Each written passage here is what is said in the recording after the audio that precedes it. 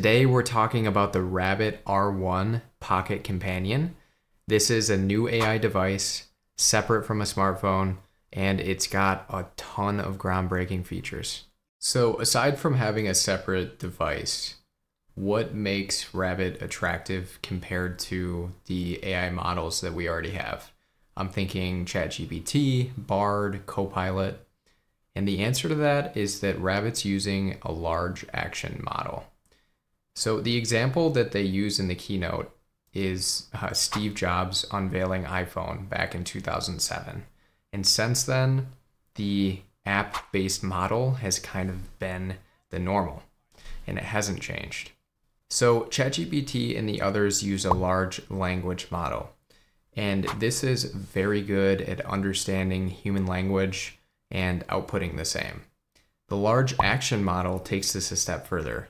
Not only can it understand your input, whether that's through picture, audio, or text, it can also understand tons of different app interfaces and operating systems. LAM, as we call it. It is new foundational model that understands and executes human intentions on computers, driven by our research in neural symbolic systems. With a large action model, we fundamentally find a solution to the challenges that apps, APIs, or agents face. We solve it with interfaces.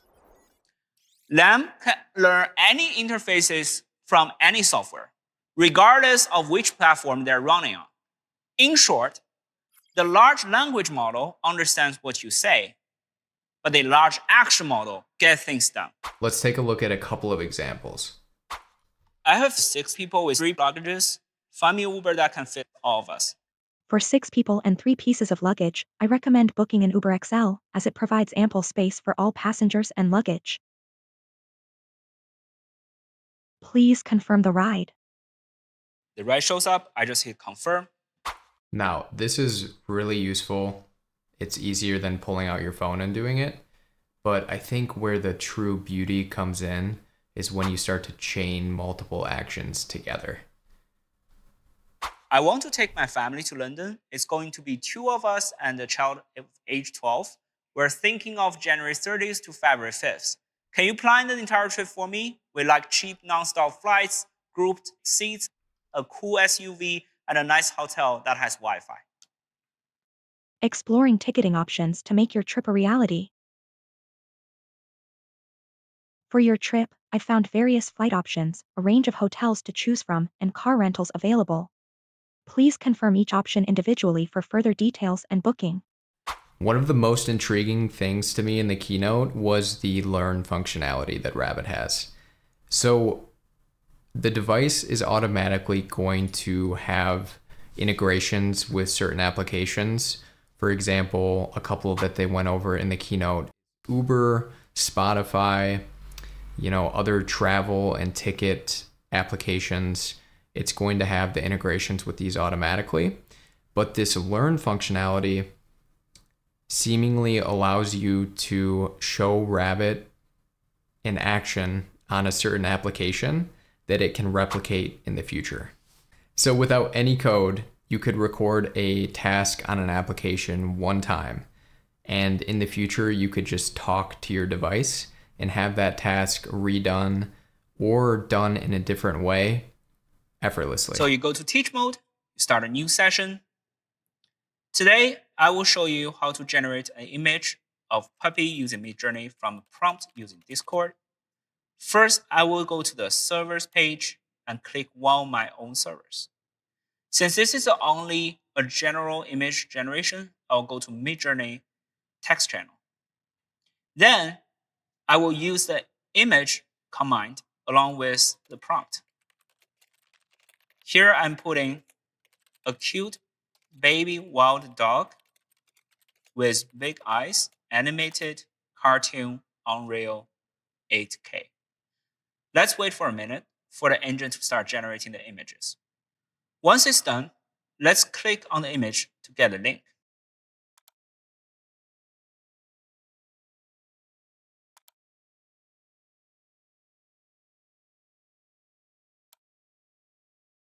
I will then explain to Rabbit OS how to use this rabbit and annotate it so that I can generate anything, not just puppies. So let's go back to our web portal, submit the request. It takes seconds for the web portal to finish processing. And that's it. It's that simple. Now, once we finish the training, I can go back to my R1. Now let's use Midjourney, as I told you, to generate a picture of a bunny in pixel art style. Certainly, Jesse. I will use Midjourney to generate a picture of a bunny in pixel art style for you. Please give me a moment to create the image.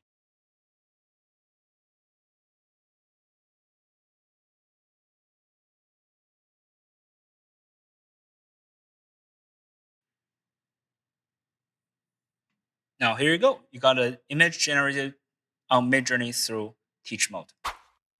That is insane. This thing also has a camera and can make decisions based on your environment. This is what I got in the fridge. Can you make me a nice dish that's low in calories? Let me see.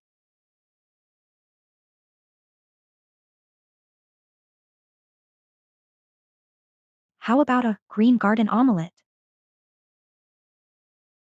It's a delicious and low-calorie dish that combines the freshness of broccoli and cabbage with the creaminess of eggs. Here's a simple recipe for you. Nice. It recognized all the stuff and gave me the actual recipes. There are definitely some question marks with this technology. And the first is will smartphone manufacturers have something very similar in the near future? And the answer to this is probably yes. Apple and Google are both working very hard on their respective AI technologies, and I would not be surprised if they have something that works similar to this in the near future.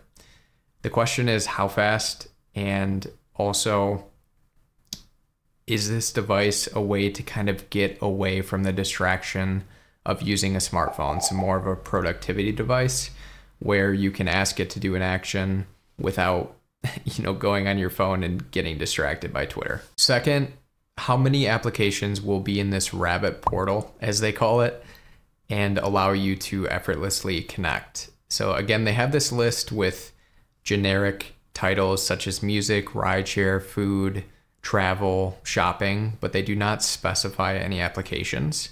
So my question is how many will there be? And if they're not if there are not a ton, um, how easy will it be to use that learn function? And can you use that learn function on any application? The last question is security. And this is definitely a point of emphasis from Rabbit, so I'm not too concerned. They said that with all of the integrated applications in their portal, none of the information is stored by them or shared. It's only stored with the application that you're integrating with.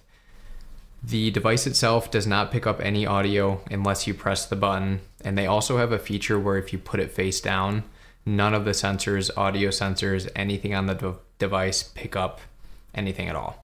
The Rabbit R1 only costs $199, and to me, that's totally worth it. So I did place an order and I'm going to give it a shot. For US customers, they're planning to start shipping in March or April of this year. So I will show you what it looks like when I get it, and we'll go over some of the results then. Even if this doesn't work out, I am very excited for the potential of these large action models and what they could bring uh, for not only a handheld technology like this, but also with smartphone integration. As always, thank you so much for watching and stay tuned for more.